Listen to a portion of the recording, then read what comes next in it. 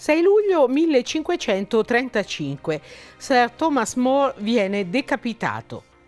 Filosofo e politico inglese, cattolico fervente, oppositore dello scisma anglicano, nel 1529 fu nominato cancelliere per sostituire l'arcivescovo di York, che non era riuscito a ottenere dal Papa Clemente VII l'annullamento delle nozze tra Enrico VIII e Caterina d'Aragona.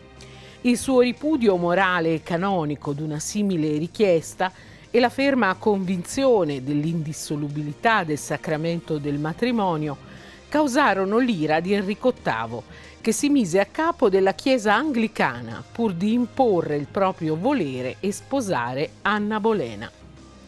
Richiesto di giurare fedeltà al re in quanto capo della Chiesa, rifiutò. Imprigionato nella Torre di Londra, Sir Thomas More fu accusato di alto tradimento e condannato a morte, eseguita tre anni dopo per decapitazione.